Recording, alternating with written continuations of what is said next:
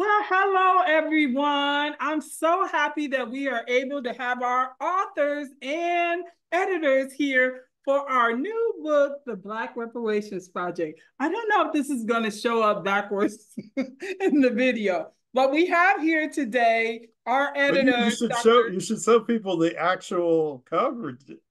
You can. Oh yeah, I'll do that too. Okay, let me yeah, read. Yeah, show the actual cover under the jacket. Yeah. That's a good idea. So we have um, William A. Darity Jr., A. Kirsten Mullen, and Lucas Hubbard, who have come to know very well over the years. It seems like I've known y'all forever now. But I initially showed the the the uh, jacket, but this is the beautiful cover of the book. So we encourage you to get a copy of this wonderful uh, book that we're going to talk about here today. And also, I just want y'all to know I'm a faithful reader. I got the original from Here to Equality. I had the band-aid that I was tearing the jacket because I read it so much. And then I got the second edition. So I am on point. So what we wanted to do today? Um, ASALH has agreed to add this to the YouTube channel. Just a little bit of background about ASALH. I don't know if this will record this. I was just going to go to, I, I opened up all these windows. So ASALH is the Association for the Study of African American Life and History, and its founder is Dr. Carter G. Woodson. And so Dr. Carter G. Woodson is also the creator or the progenitor of what was initially called Negro History Week. And he established it in celebration of the fact that both um, Frederick Douglass and Abraham Lincoln had birthdays in February. And so they I became last year they their selected freedom scholar. And I also happened to be born in February too on uh, Valentine's Day. So you know this is surreal. so convergence. yeah. So you know there's a re- there's a rhyme to the reason. and so what I wanted to do today was talk to you all as the editors of this book, give us a little history about its creation how you went about getting the authors together, and also to promote our upcoming, um, well, I can't say Twitter anymore, X Spaces for Black History Month. And so I'm going to again share those beautiful flyers where you see all our beautiful authors. So on next um, Thursday, February 1st at 6 p.m., we are going to do a Twitter Spaces with all of the authors from the Black Reparations Project. And then we're going to do a follow up Twitter space on February the 26th. And so we will have an opportunity to talk about this marvelous book and also engage with those persons who are interested in this whole concept of Black reparations and under the umbrella of Black History Month. So just uh, one more thing before I turn it over to y'all about my feelings about Black History Month. So I came out of higher education administration. That's where I cut my teeth. Right after I graduated from uh, undergraduate school, I ended up having a job at a laboratory and I was so bored.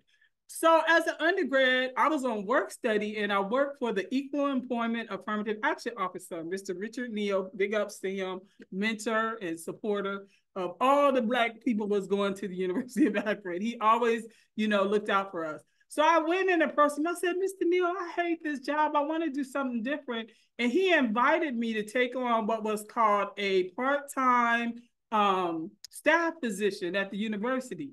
We had gotten a new president, uh, William Muse, and he was very committed to minority affairs work. So he created a cabinet level or, you know, vice president level position that reported directly to him, and it was the vice president of minority affairs.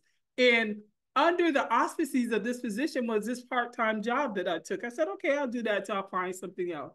So I ended up kind of creating the first minority program that we had at our campus. And I thought it was just going to be a little foray until I found something else. Well, it did so well at the university in terms of recruiting and, you know, acclimating um, Black students to the campus that the president turned it into a full-time administrative faculty position. So that's my foray into higher education. So part of my charge was Black History Month. So every year, Black History Month rolls around for me like Christmas because I remember all these wonderful programs. And so that is why I asked you all to kind of be our stars of this event by talking about the Black Reparations Project. So my first question to the authors is, how did the Black Reparations Project begin as an idea?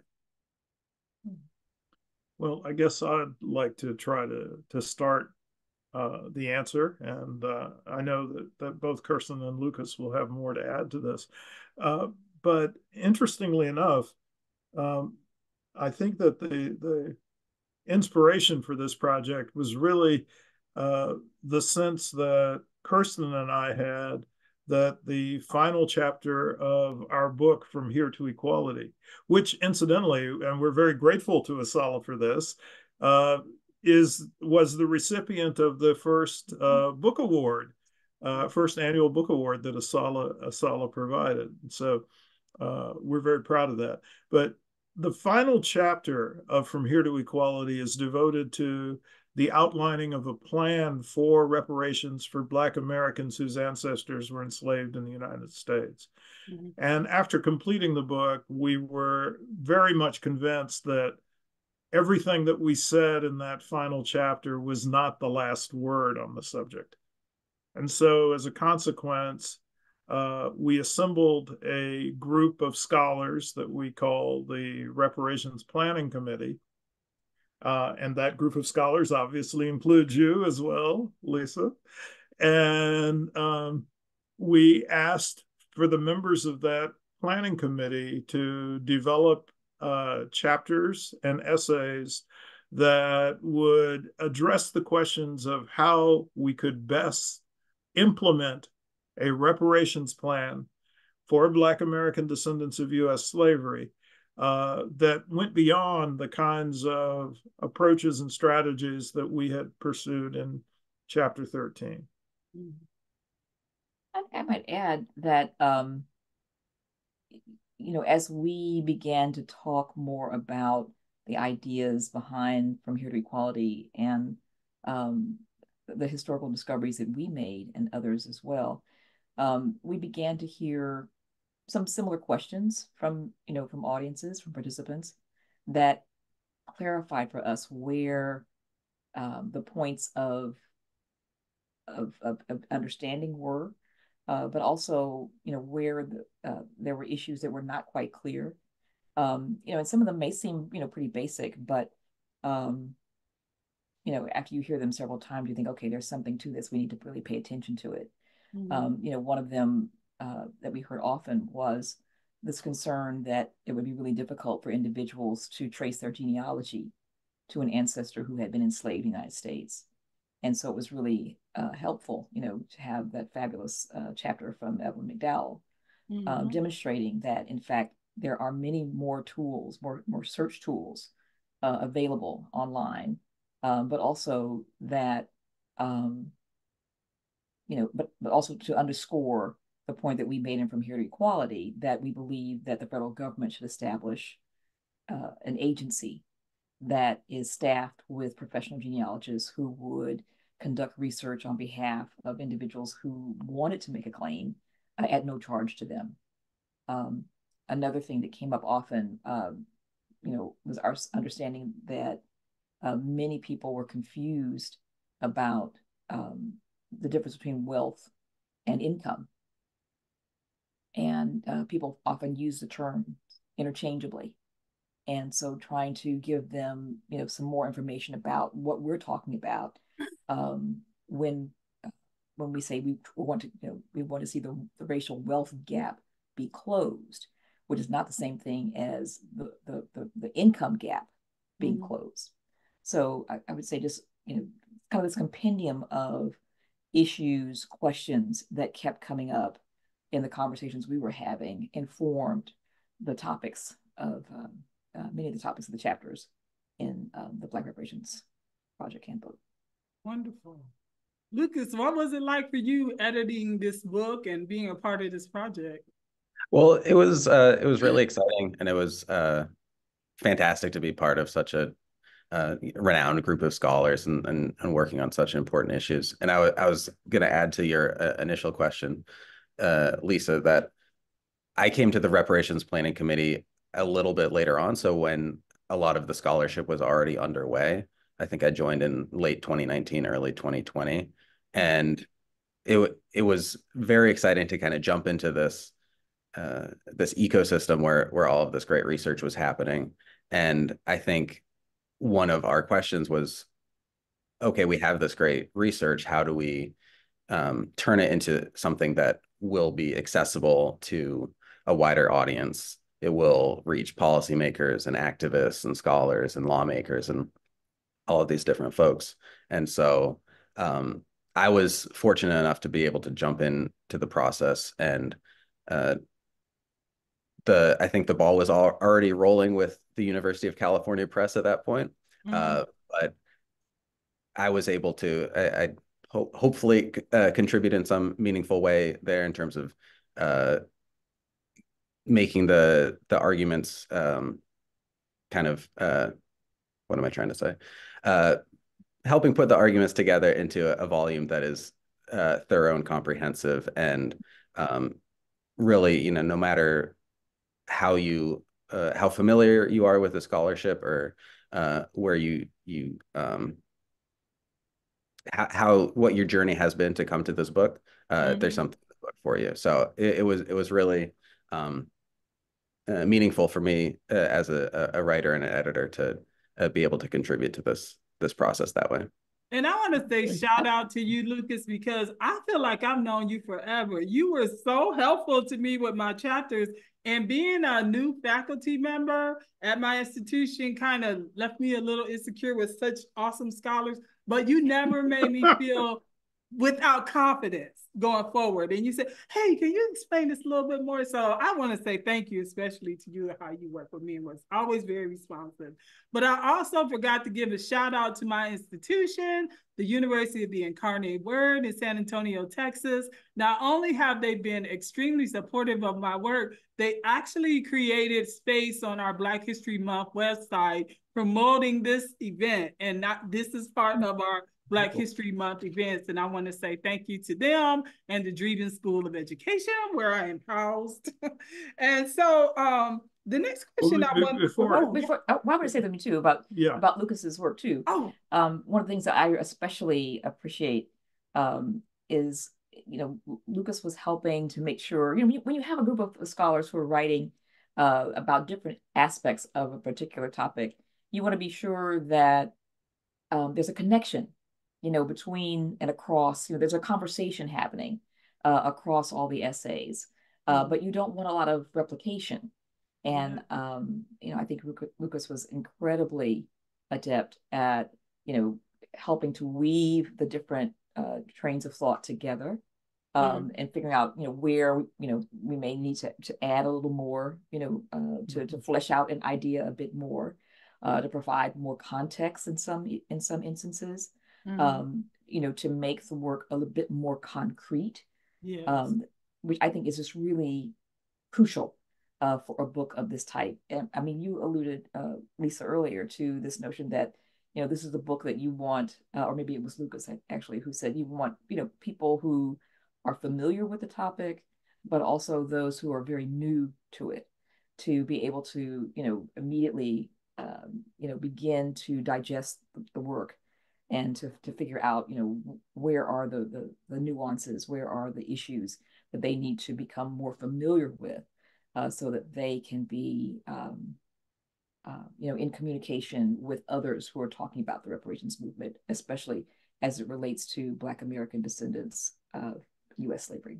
Yeah, and I, I wanted to add that initially uh, the vision was to generate uh, essentially a report that was self-published mm-hmm. by the reparations planning committee mm-hmm. uh, but then when we learned that there was interest on the part of the university of california press it required us to pivot a bit in terms of how this uh, project was going to be structured. And I think Lucas was instrumental in uh, in helping us make the transition from thinking about putting this out as a report versus putting it out as a book, which would be mm-hmm. an edited volume of essays. Mm-hmm. I also want to mention, of course, that your work, uh, your contribution to the uh, to the to the uh, to the Black Reparations Project is a an attempt to indicate ways in which adult education mm-hmm. can be mobilized for the purposes of informing people about reparations and about reparations advocacy. Mm-hmm. Uh, and I think that this is something that's very, very different from what was originally in From Here to Equality, where we didn't really explore the question of uh, how do you make the general public more aware of these issues, and how do you help them become uh, more more sympathetic to mm-hmm. the claim for reparations that's been made by Black American descendants of U.S. slavery for close to 160 years.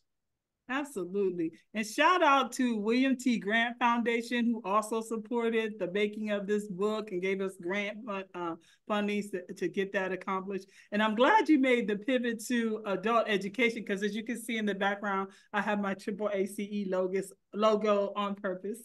but similar to what you were saying to Lucas, that was important to me that I write in a style that was accessible. And also by I wanted us to kind of get into this social media space, to get at these adults in a um, what we call in our field non-formal education. What are your thoughts about our ability to reach out to adults using these mediums? And do you see this as a means by which we can accomplish some of the things you talked about, Dr. Darity and Lucas, in terms of getting at those adult populations with, you know, the information that's digestible and not too, you know, theoretical and along those lines. I think this is a this is a huge piece, mm-hmm. um, you know, uh, you know, uh, for the the project to take on. Um, there are so many platforms now that um, you know that one can be on um, but in a lot of instances they're just so episodic mm-hmm. um, you know people get just a little taste a little flavor uh, of an idea um, but if we're able to be present on multiple platforms and direct people back to the handbook itself mm-hmm. uh, or to direct them to other books that um, you know or articles reports that members of the group have written on the topic. I think that's really important. Um, but you know, this is one of the beauties of having a, a group of people who are allied, uh, working together. And and here I'm talking about you know the individuals who were were part of the research group initially, and those who um, who prepared essays for this volume. But to you know to use the networks that you have um, to get the word out, um, to let this be the base for uh, a book a book group, you know, a book club, for example, uh, or a study group. Um, we've had a number of folks who have used uh, From Here to Equality as mm-hmm. the basis of a research group. Um, and this is a perfect, I think, a perfect book for that. You know, to take one chapter at a time. Uh, perhaps you assign it to different group, different individuals in your group, uh, and work through it. Um, but yes, this is, I think, um, social media is the way of the world. Mm-hmm. And um, it's really critical that we seize the opportunity to be present in those spaces. Agreed. Does anyone else want to add to that? I'll, I'll just say that I think sometimes books can seem, you know, a book is published and then it exists in a physical space and it can seem uh, almost static, for lack of a better word. And I think something that we really uh, strove for with this book is is creating something that is dynamic and that it won't just exist in book form; it exists in, in conversations. It, the goal is for uh, everyone to read this book and then, uh, as Kirsten was saying, jump into the conversation and be interacting and be sharing their thoughts and, and be discussing it with people. And so I, I think uh, as you said, Lisa, uh, social media is a huge component of that, and I think mm-hmm. um, we we would like the the response and the the uh, the audience interaction uh, with this to be as dynamic as possible. And I think having conversations in these spaces is, is a huge part of that. Yeah. Wonderful. Well, I know I promised you all I wouldn't keep you long. And if I tell you a fib, you won't come back when I ask you again. But I want to mention that we are going to have several of these little spots with some of the authors. So we'll be featuring them in their chapters throughout Black History Month. So if you could for me in a uh, last word, share with the audience your thoughts about Black History Month. And if you want to draw connections to the book, you can do that as well. Well, I I, I I'm thinking uh, that you know there's a sense in which the history of Black people in the United States is so well integrated with the history of the nation as a whole that you know there's always been this skepticism that some people have had about the necessity of having Black History Month uh, because they would say, well, Negro history is part of all American history. Mm-hmm. Um, and uh, it should be something that's that's celebrated and treated in every month of the year. And and I think while that's true, there is a value to having a month where there's more concentrated attention mm-hmm. to these types of issues, especially in an environment where there is so much activity going on uh, to deny truth telling about mm-hmm. American history. Mm-hmm. mm-hmm. Um, and so, uh, in that context, I think that the book, The Black Reparations Project, is potentially uh, very, very useful as a as a tool for conversation during the course of Black History Month. Uh, the only other thing I want to emphasize, though, is that uh, one of the key features of this book is uh, a discussion of uh, detours away from true reparations. And I think that this is a provocation in the book, uh, but it's a provocation that we thought had to be made.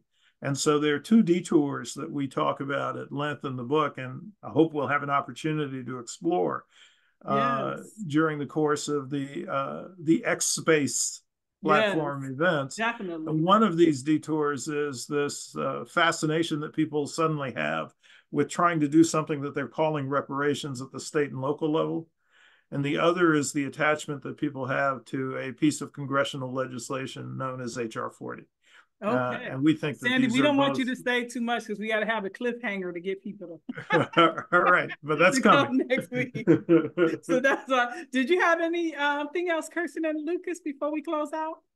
Well, I just want to say briefly, and I won't go into the whole uh, all of what I was going to say, but I wanted to, you know, affirm that you know Black History Month for me is an invitation to dig deeper, mm-hmm. and um, you know we want to invite uh, others to look, you know, at their own family's history. Mm-hmm. Um, you know, if uh, you know, if, if if the person is white, you know, to interrogate their family's wealth position and find mm-hmm. out, you know, what the source of that money is.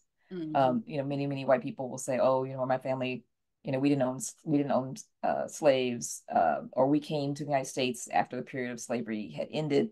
We didn't benefit from that at all." Um, but I think there are all kinds of uh, connections to largesse that mm-hmm. was handed out by the U.S. federal government that white Americans received that Black Americans did not. And it's important for people to to to understand that history, um, mm-hmm. to to to know where their family stood and how uh, they were, how the position that they occupy, the financial position they occupy currently, mm-hmm. um, was assisted uh, by the, the U.S. federal government. Lucas, Black History Month. Um, I feel like this is a trap for for me to have the last word on Black History Month. You want to have something? I, I have something very, else to say. I'm very wary of the optics of it.